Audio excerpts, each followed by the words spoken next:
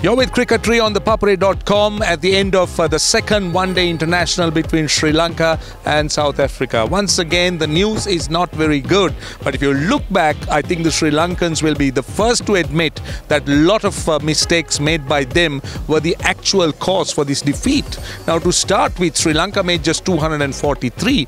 Now, one wonders after they won the toss on a decent surface whether they had made enough runs. Well, the Sri Lankan middle order struggled again. Now, we did see that when you look at uh, the Sri Lankan rate of scoring from about the 10th to the 40th over and the 40th to the 50th over, the Sri Lankans aren't doing too well in the world stage. Now, that was prevalent once again here.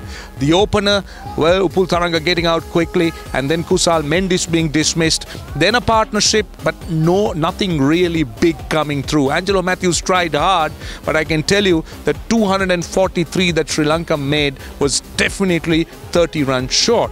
But on the surface, I still thought that there might be something for the spinners because it was dry and certain areas were spinning. Now, what Sri Lanka needed was a solid start with the ball, that is. Every half chance taken, every run prevented. But what we saw on the contrary was something completely different.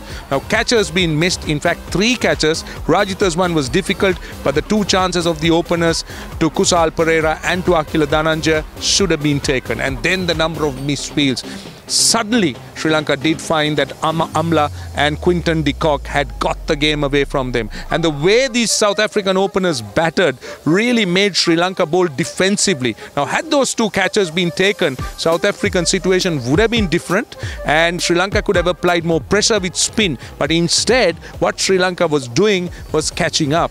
With the two openers going after the bowling, the run rate being good, the Sri Lankan spinners were always on the defensive. It was never ever easy in that situation to go on and get wickets because you're walking a thin line, there's very little runs to defend, and the batsman going after the bowling. Now, once again, I wish to emphasize had the catches been taken, had the fielding improved, maybe the situation would have been different. One of the glaring point that I saw was that the bowling that needed support for Akila Dananjaya. Dananjaya, once again, I thought was outstanding. He was the only positive from a Sri Lankan point of view. But the rest of the bowling I thought was found wanting. Lahiru Kumar injured. The extra pace would have been handy. But the rest of the bowling, well, I don't think they look threatening at all. And in the end, there were a few hiccups for South Africa, but Sri Lanka made it, uh, South Africa, I beg your pardon, made it quite easily. So a lot of work for Sri Lanka ahead. They'll have to really play well from here. To start with, they got to win the next game, which happens at Pallekele. Now that's a day game. They need to win that to stay in the contest. If they lose it, the series is gone. So that's the first one. So going in there, the Sri Lankans will be under some pressure. But Angelo Mathews, speaking at the post-match presentation, certainly put on a brave face and he felt that there is a lot of positives and Sri Lanka are ready for the fight. I'm certainly hoping that the Sri Lankans will come up with something special when the next game happens at Pallekele.